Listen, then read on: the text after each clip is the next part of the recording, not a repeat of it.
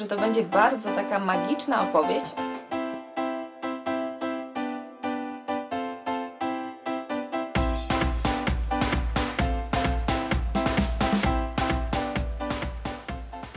Cześć, jakkolwiek dziwnie to zabrzmi, właśnie uświadomiłam sobie, że czas strasznie szybko płynie, a ja jeszcze nigdy na moim kanale nie nagrałam dla Was filmiku, w którym pokazałabym Wam premiery książkowe, na które czekam. Dlatego tym razem chciałabym pokazać, powiedzieć Wam o pięciu książkach, które na polskim rynku wydawniczym pojawią się pod koniec kwietnia i w maju 2015 roku. Mam nadzieję, że jeżeli o nich nie wiecie, to że się nimi zainteresujecie, bo moim zdaniem są naprawdę ciekawe i bez zbędnego gadania przechodzimy do prezentacji tych pięciu książek. Pierwsza książka, która mnie zainteresowała, będzie miała swoją premierę już 22 kwietnia, a więc w najbliższych dniach. Jest to opowieść napisana przez Douglasa Lina, mam nadzieję, że dobrze czytam nazwisko autora, i nosi tytuł Mężczyzna ze stumilowego lasu. Jest to opowieść o synu człowieka, który stworzył dla świata Kubusia Puchatka. Nie wiem jak wy, ale Kubusia Puchatka ubóstwiam. Pamiętam, że kiedy w szkole podstawowej kolekcjonowało się takie karteczki do segregatorów, ja znacznie bardziej od tych, które przedstawiały piękne księżniczki, wolałam takie, na których można było zobaczyć Kubusia Puchatkę i jego przyjaciół.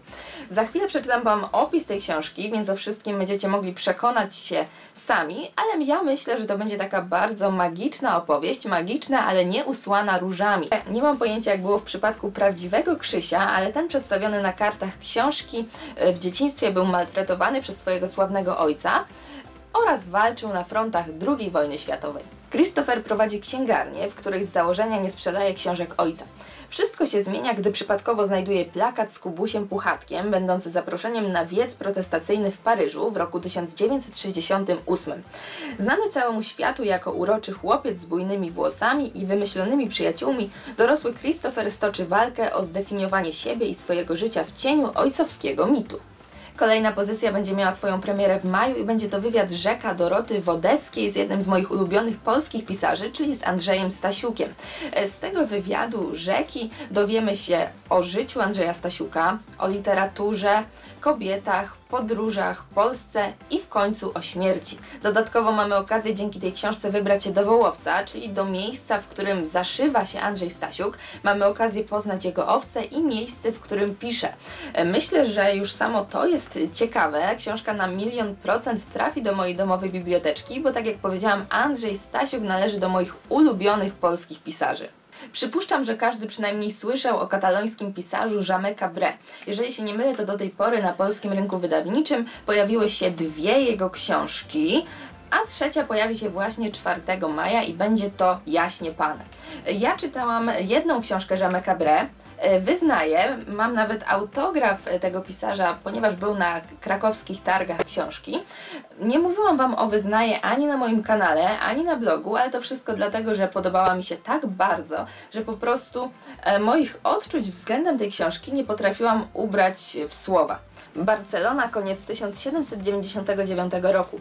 W pokoju hotelowym zostaje znaleziona śpiewaczka, Słowik z Orleanu, z poderżniętym gardłem i nożem wbitym w serce. Oskarżenie pada na młodziutkiego poetę, który spędził w jej pokoju namiętne chwile ostatnie w jej życiu.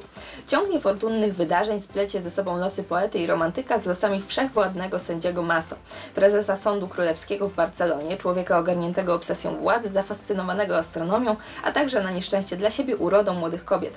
Jamaica Bre wiernie odtwarza klimat epoki i powołuje do życia wiele postaci wplątanych w sieć namiętności i intryg, korupcji politycznej i walki o władzę. 15 maja będzie miał swoją premierę Okularnik Katarzyny Bondy. Jest to już druga część e, tetralogii o profilerce Saszy Załuskiej. Tak dla jasności, pierwsza część tej tetralogii to Pochłaniacz, o którym być może część z Was już słyszała.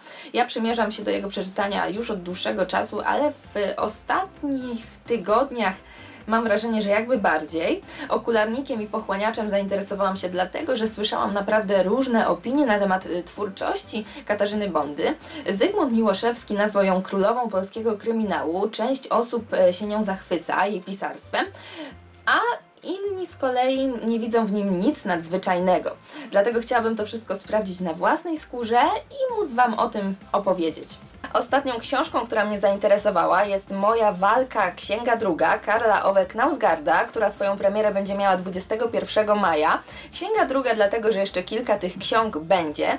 Jest to szczera do bólu, monumentalna, mocna autobiografia właśnie Karla Owek-Nausgarda. Zainteresowałam się moją walką jeszcze wtedy, gdy była na etapie wprowadzania na polski rynek wydawniczy. Podobno przedstawiona w niej, rzeczy, przedstawiona w niej rzeczywistość jest mroczniejsza niż ta, którą znamy ze skandynawskich kryminałów i chyba gdzieś przeczytałam jeszcze, że w Norwegii cieszyła się tak ogromnym zainteresowaniem i wywołała jednocześnie tak duży skandal, że wiele firm zdecydowało się na wywieszenie takiej specjalnej tabliczki informującej o zakazie rozmawiania właśnie o mojej walce w pracy. To są już wszystkie książki, o których chciałam Wam powiedzieć. Mam nadzieję, że którąś z nich Was zainteresowałam. Zapraszam Was do oglądania moich kolejnych filmików, do zostania ze mną na dłużej i do zobaczenia wkrótce.